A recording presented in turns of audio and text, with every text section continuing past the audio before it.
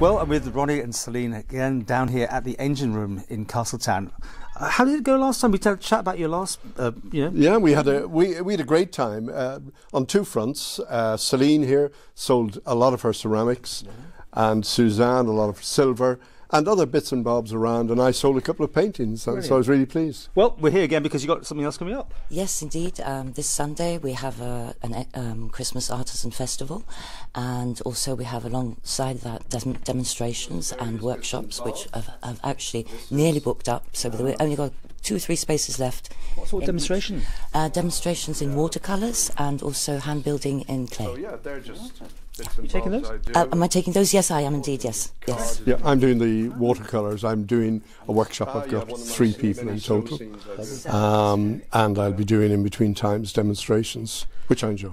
Now we're here on setup, so uh, we've got some shots of it, but there's going to be more here, right? What, what exactly are you people expecting to see? Well, people will come and see each artist. Like, for instance, uh, we've got Olive Wassel, and she's a watercolour painter, does some lovely work, uh, lovely tonal values. So Olive will have her displays and cards, etc., for sale. Um, I'll have my uh, display table, and again, I'll have prints for sale, and I'll be selling competitively, knowing that people would like to buy for Christmas maybe. And I have a lot of cards now from paintings I've done previously and paintings I've sold. And as I say, I'll be doing the uh, watercolour workshops. Ah. And there are still a few spaces left. Right.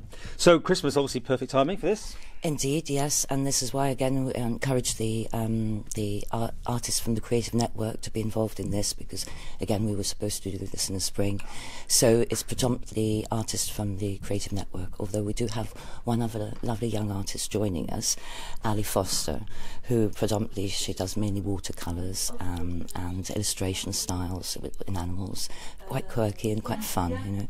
Um, and then also we have Greg Jochen, who's um, basically his is, is paper observational pens, pencil drawings, uh, variety of subjects, but mainly his love is birds. Yeah, and then of course myself, uh, you know, uh, just hand build bespoke porcelain and stoneware, functional ceramics, and also decorative, and of course lots of mood lights and tea lights for Christmas. Now, I, I believe the Arts Council helped out on this gift on you. They did. They support us. Me in particular, they support with materials, um, and and uh, Celine, uh, and I forgot to mention, and she'll kill me, Frauke Watson from Ballaugh.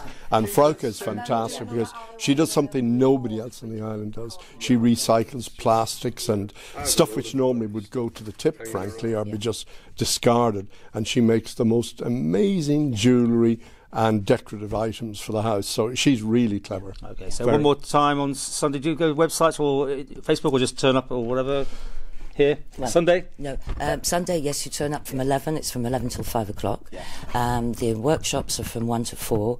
And the few bookings that are still left available, um, you get in directly in contact with me.